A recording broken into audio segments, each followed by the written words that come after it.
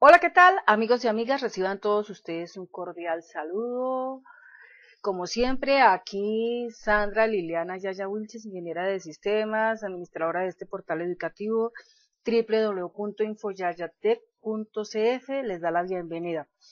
Bien, los estoy invitando muy cordialmente a que sigan en línea. Y bueno, este, este proyecto que voy a comenzar en este año 2020, en este mes de abril, día 28 de abril, denominado Proyecto Minería Datos, tiene mucho que les podrá ayudar a ustedes, que les podrá aportar a ustedes y que espero que en la manera como lo vamos a manejar, de verdad, a muchos de ustedes les habrá una fuente de ingreso permanente. Yo le he estado echando cabeza a esto, cómo lo voy a hacer, cómo lo voy a difundir y todo eso. Entonces me tomé la molestia de empezar como una especie de, de, digamos, de lista de tareas a desarrollar, que es con el fin de que usted también esté orientado en la forma como lo va a realizar. Bueno, vamos a empezar entonces en este punto. Em, en la escuela Infoyayatec, que ustedes ya han podido apreciar y que muchos de ustedes la siguen con los proyectos diferentes que se han presentado. Muchos de todos ellos se han difundido en el mercado casi que de una manera gratuita. ¿sí? Que la única finalidad acá es que uno percibe el flujo de ingreso de los clientes que puedan salir de todos estos procesos que uno hace y con ello pues uno literalmente se va sosteniendo. Pero en este proyecto, como lo vamos a desarrollar, buscaré que cada uno pueda aportar económicamente algo. Y cuando me refiero a aportar económicamente algo, me refiero a una donación. Yo no estoy diciendo que me den tanto, sino una donación, lo que usted le dicte su corazón, darme por el trabajo que yo empiece a realizar aquí. Les voy a, plantear la siguiente formulación. ¿Te has preguntado qué posibilidad tiene generar una minería de datos? Bueno, mucha gente de pronto en este momento, de los que tal vez mm, no tienen idea qué es una minería de datos, la minería de datos es algo así como una recolección en masa de mucha información. Esto implica y significa que usted para poder cuadrar una minería de datos tiene que intensificar muchos hábitos como entre ellos la búsqueda, la investigación.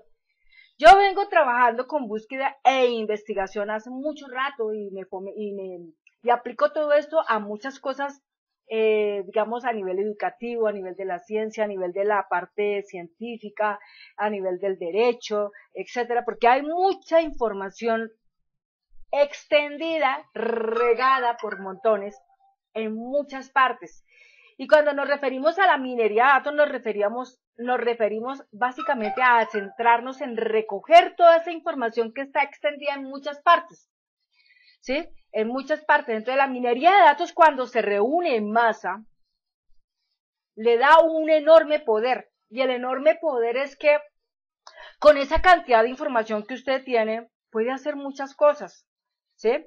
Muchas cosas. Y nosotros podemos observar que, por ejemplo, usted puede estar sentado frente a su computadora por lo menos un día revisando su solo Facebook.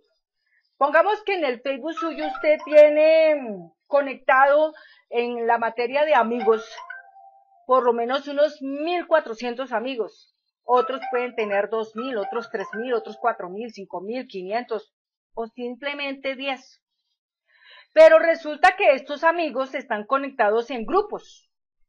Y muchos de estos grupos están prácticamente arrojando a diario, al día, a la hora, al minuto, al segundo, cualquier cantidad de información que para usted puede terminar representando una mina de plata. Viene la parte siguiente. ¿Cuándo usarla? En estos tiempos se ha dicho que el año 2020 se encuentra marcado como el año del desempleo, el año en donde va a haber mucho desempleo. ¿Por qué? Porque la gente está mirando a ver dónde puede encontrar las cosas que necesita. Resulta que muchas personas tienen que salir a la calle a, a vender algún producto. Pero el dilema está en que ahí está la clave. El producto que van a vender tiene que ser un producto en primera instancia que, que, tenga ciertas características que le llamen la atención a la persona. Ese producto que le llame la atención a la persona tiene que, primero, ser innovador. Tiene que ser una cosa innovadora. Una cosa que no esté, digamos, en su casa, por ejemplo. Yo le voy, a, le voy a plantear una de las más sencillas de esta. Vamos a pensar que en el Facebook usted encontró un meme que eh, eh, dice, eh, esta esponjilla le permite a usted lavar la losa y no concentrar bacterias de ninguna índole. Entonces usted se pone a pensar, oye, eso está como chévere, ¿no? Una esponjilla que no almacene bacterias. Eso significa que para mí podría ser como una cosa así, como un recurso de la bioseguridad que yo debería tener, porque es que muchas veces la gente piensa que la bioseguridad solamente está en función a ponerse usted un equipo para no infectarse con un virus, pero resulta que la bioseguridad va más allá, porque la bioseguridad puede estar reflejada en una simple esponjilla con la que usted lava sus platos, sus ollas, sus pocillos, sus cubiertos, ¿no es cierto? Pero que esa esponjilla no almacene residuos de bacterias ni nada de esas cosas. Entonces, eso ahí ya es una, un indicio suficiente para uno decir, tengo que buscar ese producto y mirar cómo obtener no una unidad, sino obtener muchas unidades para poder vender. Si uno se va a um, concentrar en salir a la calle. En Colombia, con la pandemia, se mostró y se desnudó completamente cómo está el sistema laboral. En este momento, en Colombia es mucha la gente que le toca vivir día a día. El trabajo está masificado mayormente en la parte eh, informal. ¿Qué es informal? Pues que una persona sale a la calle a vender algo, ¿no es cierto? Que pueda que la gente lo necesite como pueda que la gente ni lo necesite. Pero la clave está, amigo, amiga, aquí está el detalle. La clave está es en que eso que usted va a sacar a la calle a vender tiene que ser algo innovador. Innovador, pero bien. Entonces, el cuento está en que cuándo usarla. Bueno, usted encontró en la red social esa cosa innovadora. Que a usted, mejor dicho, cuando la vio dijo, va, carambas. Eh, vamos a pensar en una, por ejemplo, en una, un aparatico especial en el cual usted pone su celular y el aparatico se va moviendo instantáneamente en la manera como usted se va movilizando, el celular también se va moviendo. O sea, es un captador de imagen para cuando uno va a grabar. Interesante. Pero pregúntese usted por un momento, ¿cuántas personas saben esa información? Son muy, es un, es un número muy mínimo de personas que saben esa información. Pero usted la está obteniendo. ¿Cómo? A través de las redes sociales. ¿Y qué va a hacer con ella? Jugar con eso. Entonces, ahí está en la situación. ¿Cuándo usarla? Cuando usted la detectó, usted ya va a imaginarse cómo usarla. Bueno, hay otro punto. ¿Para qué usarla? La información cuando se obtiene y se agrupa, se recolecta, se hace un conjunto de datos de muchas cosas, la pregunta que viene es ¿para qué usarla? Usted la va a usar para poder generar ingreso, para formar un flujo de dinero, para construir un flujo de dinero. Entonces, vamos a pensar, si una persona en este momento por la pandemia se encuentra, se encuentra estancada, porque en este momento muchas empresas que son netamente presenciales van a quebrar. Y vayámonos mentalizando en una situación. Las empresas presenciales empiezan a quebrarse. ¿Por qué? Porque las empresas presenciales necesitan obligatoriamente al cliente ahí metido en el local para poder comprar. ¿Correcto? Pero ¿qué sucede? Que si la pandemia nos obliga que nos debemos de quedar en la casa, entonces no vamos a tener cómo comprar. No vamos a tener cómo usar nuestro dinero. ¿Ve? Y peor que eso, nos vamos a quedar sin trabajo. Entonces, rápidamente mentalmente tenemos que trabajar en cómo vamos a conseguir el dinero para poder sobrevivir en un tiempo de pandemia. Esta pandemia, muchos, muchas personas, muchos científicos, muchas personas sabedoras del tema están diciendo que la pandemia no es una cosa que va a durar un mes, ni dos. Esto va a durar por lo menos largo rato. La misma Organización Mundial de la Salud lo dice. Esto va a durar para largo rato. Y un largo rato puede ser seis meses, puede ser un año. ¿Usted se imagina un año sin trabajo? Yo lo he vivido. Yo lo he sentido en carne propia. Yo sé qué es eso. Y yo sé que es cuando uno está limitado a que uno dice, hombre, quiero comprarme tal cosa, pero no puedo porque no tengo el dinero. Entonces, surge la, la, siguiente intención. Eh, nosotros los colombianos somos unas personas muy idiosincrastas. Somos personas que mejor dicho, nos movemos terriblemente para mirar cómo obtener el dinero. Cómo obtener el dinero. Entonces aquí la cuestión está es en que nosotros tenemos que analizar qué vamos a hacer. Entonces, cuando les digo a ustedes, vamos a hacer una minería de datos, ¿y para qué usarla? Pues es para eso, para manejar o para crear el flujo del dinero. En cierta manera, con el flujo del dinero lo que buscamos es obtener una libertad financiera. Y con esto, pues debe de ser de, de manera vitalicia. Muchas personas tal vez se van a quedar sin pensión. Ya nos hicieron un gol. ¿Sí? Entonces, como ya nos hicieron el gol y ya lastimosamente esa plata se empezará a perder, imagínese usted cuando llegue a su tiempo de pensionarse, lo primero que le van a decir, qué pena amigo, pero ya no hay plata. Terrible, ¿no? Terrible que uno llegue a ese punto en que digan ya no hay plata.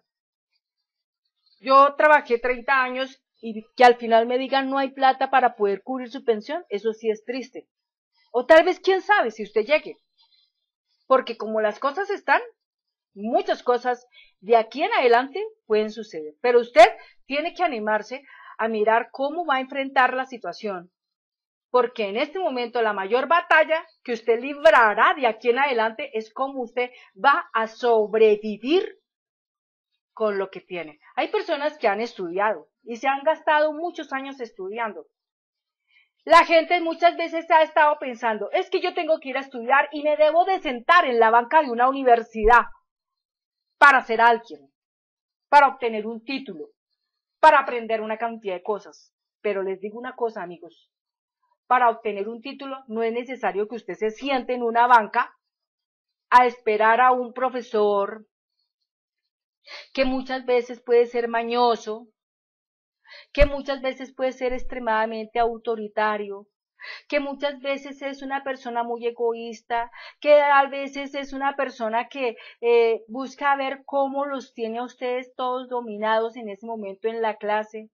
Bueno, es mi manera de ver y de pronto, ojo, tal vez toco sensibilidades en este momento con decir eso, pero es la realidad.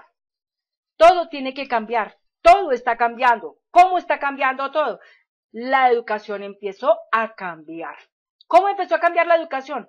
Cuando le dicen a usted que tiene que tener un distanciamiento de dos metros, imagínese usted está encerrado en una aula de clase de ocho metros cuadrados con 50 o con 30 personas y le piden que por favor haga distanciamiento de las personas dos metros.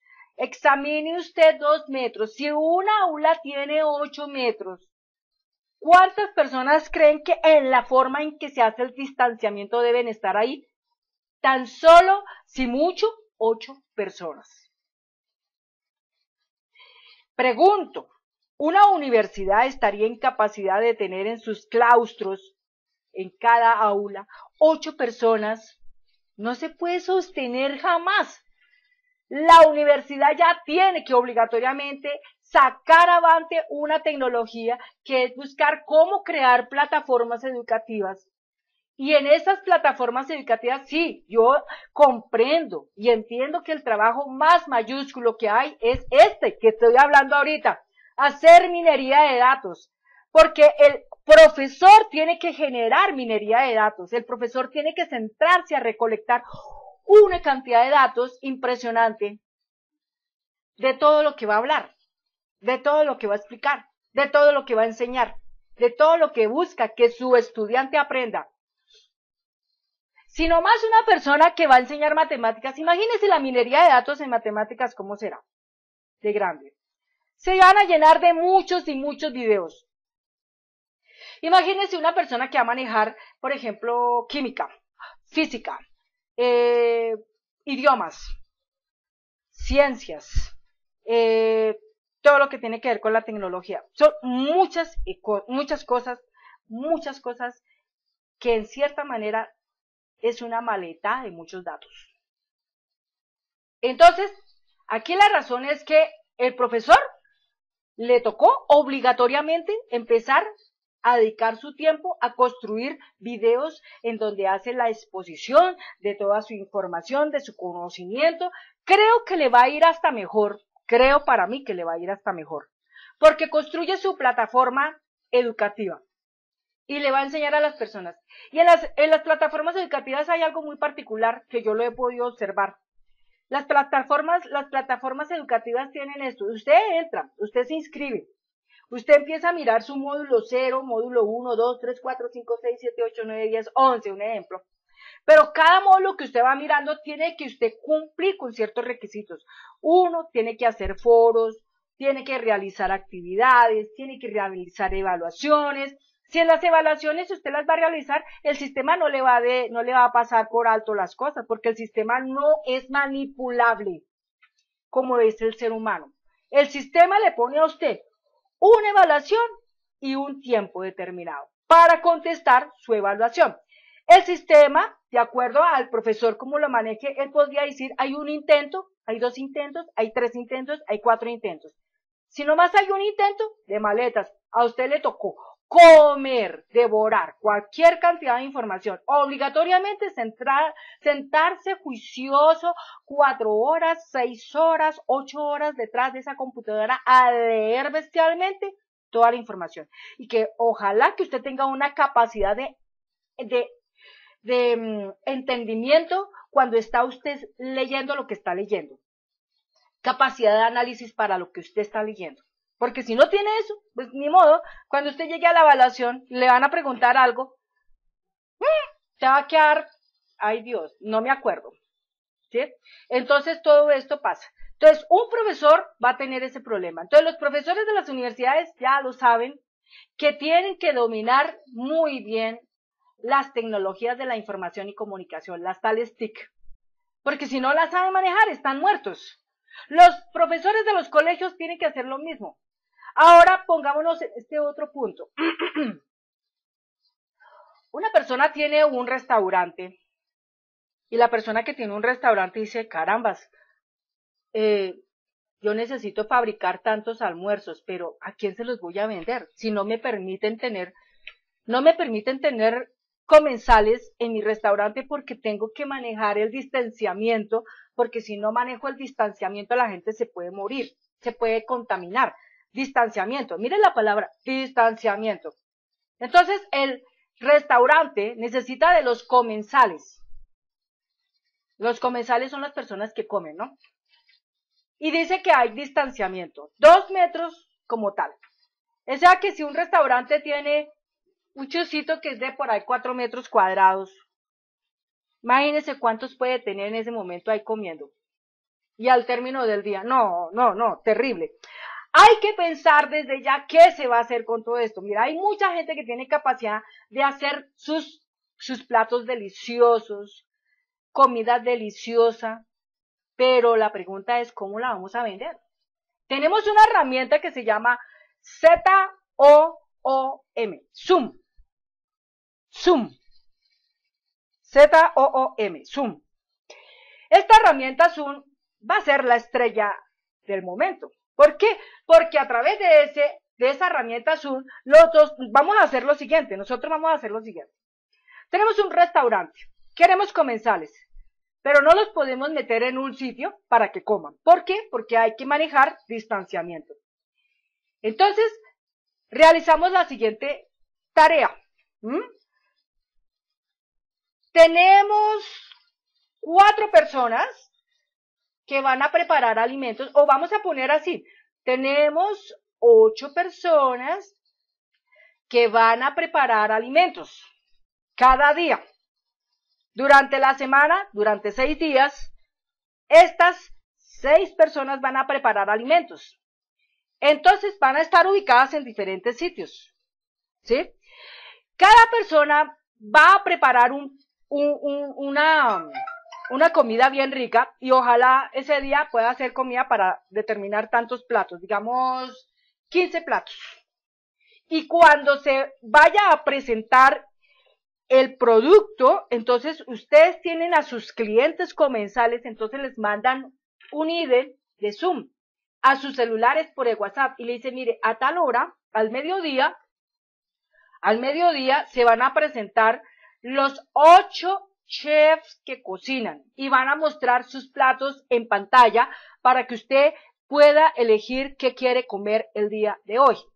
Entonces, en, en, la, en la cámara se van a ver ocho cuadritos. Esos ocho cuadritos son ocho personas mostrando sus productos, mostrando lo que eh, en este momento hay para consumir. Entonces, al final de la nota, o sea, cada uno expone su producto, cada uno expone su plato y dice, bueno, yo hice un ajiaco eh, con esto, con aquello, con lo otro, acompañado de esto, de esto, ¿no es cierto? Y así por el estilo. Entonces, al final, simplemente que es una pequeña reunión, una sesión de escasamente 15 minutos o 20 minutos, ordena a la persona su comida. Y simplemente estarán disponibles los mensajeros, los domiciliarios para recoger la comida y llevársela a su casa o para que usted se acerque al lugar a comprar su comida porque ya sabe que va a comer. ¿Sí? Entonces, esa es una manera en que uno orienta cómo, cómo uno lograr salvarse de la pandemia. Ahora pensemos en otro punto. Si nosotros vamos a salir a la calle a vender un producto, es obvio que nos vamos a exponer demasiado eh, con otras personas para vender ese producto. Pero yo pienso lo siguiente, si nosotros tratamos de buscar ser inteligentes, entonces vamos a aprender a manejar esa minería de datos y vamos a hacer con ello cualquier cantidad de datos, vamos a reunir cualquier cantidad de datos para que la gente pueda con eso trabajar. ya saben para qué, ya sabe para qué usarla. Bueno, vamos para otro punto. ¿Por qué usarla? Bueno, muy sencillo, porque usted necesita vivir porque usted necesita alimentarse, porque usted necesita el dinero, porque usted necesita vestirse, porque usted necesita calzarse, porque usted necesita para sus medicinas, porque usted necesita para poderle pagar a otras personas lo que valga su producto, lo que valga el servicio, etcétera. Entonces, ahí está. Otro punto, ¿cómo usarla?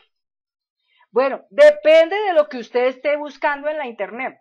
En la internet, en la red social pueden salir muchas cosas y eso es una cosa que yo voy a vitalmente a usar en el siguiente video, donde le voy a mostrar a usted varias cosas que uno tiene para usar y cómo las puede uno trabajar. ¿sí? Entonces la minería de datos tiene eso, cómo usarla.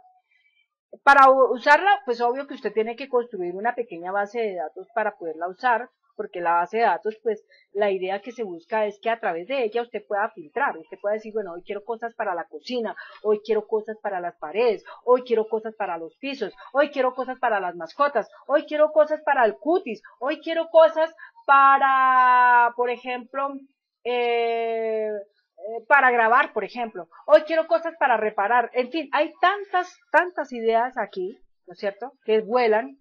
Entonces, todo eso es una lluvia de ideas. Bueno, otro punto. Vamos a pensar en otro punto. ¿Dónde encontrar los datos? El lugar donde usted puede encontrar los datos es en las redes sociales. Yo en estos días he estado compartiendo mucho cosas. Por ejemplo, yo me siento a mirar un producto que están presentando. Ay, que las tales eh, bufandas, estilo eh, tapaboca, que van en diferentes texturas y todo eso. Y yo digo, oye, eso está como bonito para las mujeres porque la mujer como que no brilla igual poniéndose un tapabocas blanco, rojo, azul. Se ve más bonita cuando tiene un tapabocas estilo bufanda tiene su tapabocas, pero también hay estilo bufanda y está texturizado, o sea, con florecitas, eh, con alguna cosa especial que la hacen ver bonita. Entonces, ahí uno se pregunta, ¿dónde encontrar los datos? En las redes sociales se encuentran los datos. Y ahí representa hablar también de los grupos. ¿Cuáles usar? Depende de lo que usted quiera tomar y en qué manera usted enfocarse para poderlas manejar. ¿De acuerdo? Entonces, cuando uno dice, pero ¿cuál es usar? Pues depende de lo que usted quiera. Como al principio de esta, de esta charla les expuse lo de la esponjilla, ¿no? Una esponjilla especial que no se llena de bacterias. Una esponjilla especial que usted la puede usar todas las veces que quiera y que la puede lavar y puede hacer con ello mucho y que no se le va esto prácticamente a, a dañar. Entonces, ahí tenemos. Bueno, vamos ahora a otro punto. Todos tenemos una misión. Para podernos concentrar en hacer esto, tenemos una misión. Yo personalmente, con esto que estoy haciendo, con este proyecto que comienzo hoy, tengo una misión. La primera es disponer de tiempo suficiente para encontrar en las redes sociales el tipo de información que pueda conllevar a cumplir con analizar, cuantificar, cualificar, porque no solamente es contar, bueno, qué quiero, sino también la calidad que voy a obtener, la calidad que voy a guardar, la calidad que voy a recolectar. Difundir, aprovechar para crear negocios online con generamiento de ingreso pasivo y de portafolio y en forma vitalicia, aprovechando la tecnología que se presenta en el futuro. Esa es mi misión. Pero mi misión también tiene una visión. Tengo que ser muy visionaria. Alguna vez yo fui visionaria, hace más o menos 20 años atrás fui visionaria y yo decía, en mi proyecto de educación decía, cuando estaba estudiando administración de informática, decía, la gente en el futuro va a tener que recibir sus clases virtualmente, o sea, va a tener que recibir sus clases a través de una computadora, tendrá que hacer todos sus exámenes a través de una computadora, tendrá que recibir todos los temas a través de la computadora y no me equivoqué altamente visionaria lo fui. Y eso fue hace más de 20 años atrás. Hoy quiero volver otra vez a trazar mi visión. Pero mi visión, ¿cómo va a ir? Al término de un corto plazo, que yo haya podido almacenar buena parte de la información y que pueda, esta, que esta información es suministrada en las redes sociales. Es decir, en corto tiempo tengo que buscar cómo almacenar esa información. Para eso debo necesitar de una base de datos. Que las personas con esto puedan emprender un trabajo tipo teletrabajo. Como lo dije en un principio, aquí en este tiempo, en este año 2020, va a haber muchos desempleados. Y en Estados Unidos ya son 13.5 millones de habitantes desempleados, casi todos percibiendo un pequeño subsidio que les proporciona el gobierno. Pero hay que pensar, el gobierno no toda la vida los puede estar manteniendo y usted está rascándose la barriga en la casa. No, señor. Eso es muy temporal, como lo que puede estar pasando aquí en Colombia. Aquí nos han hablado de muchas ayudas humanitarias, nos han hablado de que nos van a proporcionar un, poquito de dinero, pero ni a la vista lo estamos viendo. La gente de estrato 1, 0, 1, 2 no lo han visto. La estrato, estrato 3 y 4 menos. Entonces, el detalle es que hay que, hay que ser realista. Eh, nosotros tenemos que mirar de qué manera vamos a proyectarnos para poder generar trabajo tipo teletrabajo. Y esto obviamente habrá mucho, porque se necesita gente que esté difundiendo la información en las redes sociales, se necesita gente que esté sentada detrás de su pantalla ahí permanentemente buscando difundir la información por la red social de todo lo que va saliendo. Y obviamente que la gente no va a trabajar gratis, a la gente se le va a pagar por eso que esté haciendo. Entonces, es una labor, pero concentrándonos en la parte del teletrabajo.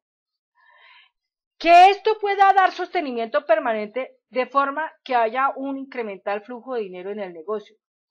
Sostenimiento, o sea, yo la visión que tengo es que en el futuro las personas ya van a dejar de tener trabajos presenciales y todo lo van a vender en línea. Una blusa la venderán en línea, un pantalón se venderá en línea, un par de zapatos se venderá en línea, una crema dental en línea, eh, productos para la salud en línea. Eh, los médicos ya no van a atender presencialmente, sino todo por en línea, o sea, por línea telefónica o por vía eh, que llaman videoconferencia. Eh, los profesores, los mercaderistas, los conferencistas, los expositores de un tema y otro ya no van a trabajar en, así, digamos, eh, masificadamente con una cantidad de gente, no, sino todo va a ser en línea. Por eso las herramientas que hay que aprender a manejar en este momento son el Zoom, Z-O-O-M, Zoom. Hay que manejarlas muy bien, como hay que manejar muy bien el WhatsApp para poder trabajar. Y obviamente algo que va a permitir fluir enormemente todo esto es el Facebook, el Instagram y otras redes sociales, el Twitter, en fin, porque de aquí en adelante de eso vamos a depender. Otro punto, que se haga que se haga, se haya difundido a buena parte de gente para que su plan de libertad financiera haya prosperado. Entonces, dése cuenta que la visión está plasmada en eso. Entonces, en que a corto plazo busquemos almacenar cualquier cantidad de información y para eso necesitamos una base de datos. Que podamos conseguir que la persona haya emprendido trabajo tipo teletrabajo. Que haya un sostenimiento permanente, es decir, que el incremento de flujo del dinero sea permanente para que su negocio prospere. Que haya sido difundido a cualquier cantidad de gente. Este video ojalá pueda ser viral y mucha gente se pueda enterar del contenido de este video. Bueno, un objetivo general de todo este proyecto es uno solo, crear empleo y libertad financiera. El objetivo específico son varios, entre ellos buscar la información, organizar la base de datos, recolectar los datos, crear la base de datos, establecer la utilería a estos datos, difundir. Entonces hay que con eso obtener ganancias con ello. Para terminar, va al planteamiento. Entonces, en el planteamiento tenemos nosotros algo importante. En el planteamiento tenemos que generar una base de datos. Y ese es el dato, y esa es la labor que yo me voy a, poner eh, eh, como tarea para desarrollar. Yo voy a, crear un proyecto en donde voy a hacer una base de datos y les voy a dar a ustedes unas pautas de cómo empezar el proceso. Alimentar la base de datos. Les voy a dar mm, ideas de cómo alimentar la base de datos. Les voy a mostrar los diferentes sitios, las fuentes de información donde usted puede obtener esos datos para alimentar su base de datos y con esto empezar algo interesante. Suministrar la información a las personas que quieran con ello obtener ganancias y generar un flujo de, de ingresos. Proporcionar empleo, teletrabajo a las personas para que esto pueda beneficiar de acuerdo a la misión propuesta. Bueno amigos, eso ha sido todo y eh, espero que ahí, espero que esta información que he comenzado hoy, que he tratado de explicarles a cada uno de ustedes, eh, sea de vital importancia y de vital beneficio. Este video que yo acabo de hacer eh, se llama Proyecto Data Mining, es el número 001 que empiezo en este año 2020.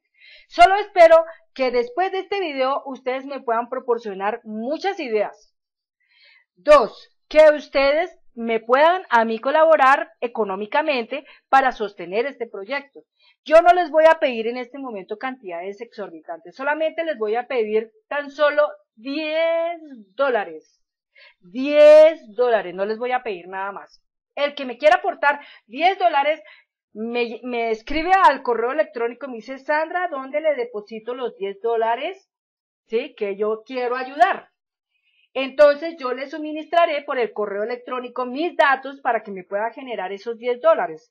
Entonces los 10 dólares, usted los puede, si usted está en Colombia, los va a pagar por ser mi entrega por efectivo.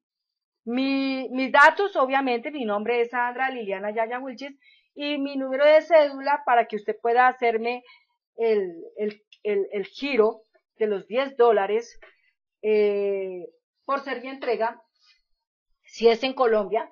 Entonces, por el correo electrónico, usted me escribirá y me dirá, Sandra, eh, pásame los datos para que yo te pueda suministrar los 10 dólares.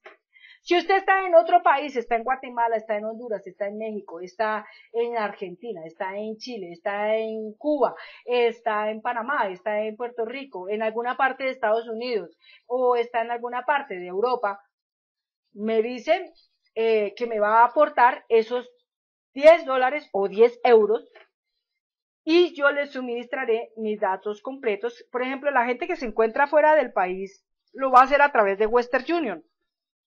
Simplemente como donación, 10 dólares, nada más. Yo no les estoy pidiendo enormes cantidades, les estoy pidiendo solamente una pequeña porción que me corresponde por ser trabajadora, teletrabajadora, ¿no es cierto? Y por dar mis conocimientos al mundo. Bien, entonces espero esa parte y espero también poder ayudar a muchas personas con mi trabajo. Seguiré aportando más información con respecto a todo esto que estoy haciendo de el data mining, así se llama el proyecto, data mining.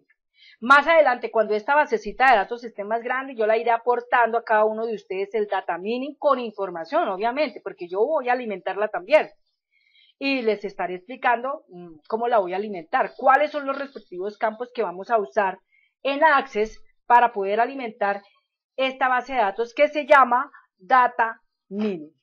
Bueno, amigos, amigas. Entonces, espero sus comentarios, espero eh, que se puedan seguir suscribiendo, que muchos puedan también si usted es una persona que dice, oye Sandra, es como interesante el proyecto que usted está empezando a hacer, el proyecto que acaba de lanzar es muy interesante, a mí me gustaría armar una pequeña escuela y a través de Zoom poder suministrar esta misma información a las personas que la quieran tener. Entonces, hablemos de negocios, hablemos de negocios y miremos cómo concentramos las ayudas, cómo concentramos las fuerzas para poder salir adelante. Aquí no estamos de que, oiga, este gana mucho con esto. No, no estamos en la disposición de manejar sentimientos y emociones de que la envidia, de que usted hace más, de que usted hizo menos, de que aquello, de que lo otro, de que usted no sé qué. No. Aquí estamos en un solo sentimiento, en un solo ánimo, en una sola motivación. Sobrevivir. Supervivencia. Si usted en este momento tiene su corazón latiendo para sobrevivir, para supervivir, está conectado conmigo. Si no está pensando en este momento en eso, si no está pensando en mirar a ver dónde encontrar rápido el hoyo para que lo entierren y, y poderse morir, no miren ni siquiera este video, ni siquiera lo miren, ni siquiera lo transmite a otras personas. Solamente les digo una cosa, amigos, amigas. Yo estoy trabajando para la vida. Yo estoy tratando de armar una política de vida. Estoy tratando de ayudarles a ustedes. No estoy buscando populismos ni nada de esas cosas por el estilo. Simplemente estoy haciendo uso de mis herramientas, de mi inteligencia, de mi forma de trabajar y estoy tratando de difundirla a cuantas personas la quieran tomar, nada más. Bueno, entonces yo los esperaré prontamente para atenderlos en ese próximo video que voy a hacer, que es el número 002 de este proyecto que empecé el día de hoy. Muchas gracias y que tengan un hermoso día lleno de mucha esperanza, muy llenos de ánimo, muy llenos de motivación y tranquilos que vamos a superarlo todo, vamos a salir adelante en esta crisis, todos nos tenemos que ayudar. Ustedes me ayudan a mí y yo les ayudo a ustedes. Muchas gracias y que Dios los bendiga. Hasta pronto.